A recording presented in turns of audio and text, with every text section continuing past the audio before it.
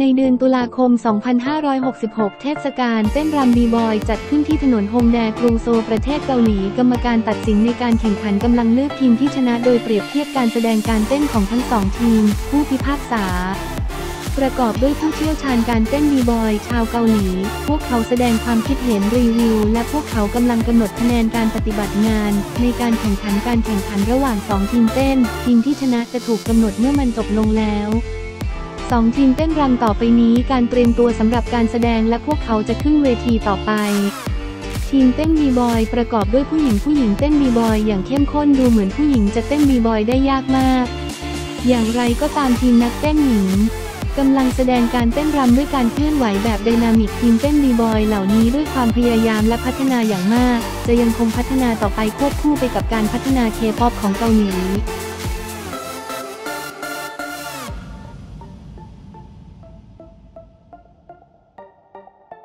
Hongik University Street เป็นย่านการค้าขนาดใหญ่ในกรุงโซลที่ตั้งอยู่ บริเวณมหาวิทยาลัยฮงอิก สถานีมหาวิทยาลัยฮงอิก และสถานีแสงสุข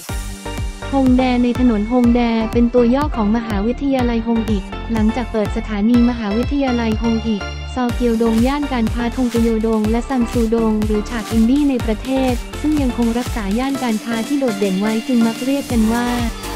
เป็นถนนมหาวิทยาลัยฮงอิกแต่ชื่อถนนฮงแดได้ก่อตั้งขึ้นแน่นอนในความเป็นจริง เช่นเดียวกับคำย่อของชื่อมหาวิทยาลัย เช่น มหาวิทยาลัยคอนกุกและมหาวิทยาลัยสตรีอีวามักถูกใช้เป็นชื่อของย่านใจกลางเมือง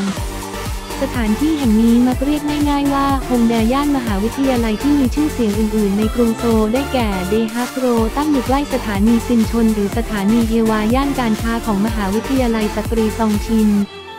ย่านการค้าสถานีมหาวิทยาลัยแห่งชาติโซล ชาโรซูกิล ซึ่งเป็นเขตวิทยาลัยของมหาวิทยาลัยแห่งชาติโซล และถนนมหาวิทยาลัยคอนกุกทางฝั่งตะวันออกของกรุงโซล ถนนฮงแดมีมากมายจนกลายมาเป็นหนึ่งในตัวแทนนักท่องเที่ยว สถานที่ท่องเที่ยวในเกาหลีนอกเหนือจากโซลในฐานะย่านมหาวิทยาลัยในตัวเมืองเมื่อพิจารณาขนาดในปี 2020 เมื่อย่านการค้ามีการขยายตัว สำหรับพื้นที่โดยรอบก็ไม่สมเหตุสมผลที่จะบอกว่าเป็นตัวเมืองที่ใหญ่ที่สุด ในกรุงโซลปัจจุบันย่านการค้าของมหาวิทยาลัยฮงอีกเติบโตขึ้นมาก จนบางคนบอกว่า การใช้ชื่อมหาวิทยาลัยเป็นชื่อย่านการค้าไม่เพียงพอ เนื่องจากนักท่องเที่ยวทั้งในประเทศและต่างประเทศแห่กันไปที่นั่นจึงมีการสร้างห้างสรรพสินค้าขนาดใหญ่ 3 แห่ง บริเวณสถานีมหาวิทยาลัยฮงอีก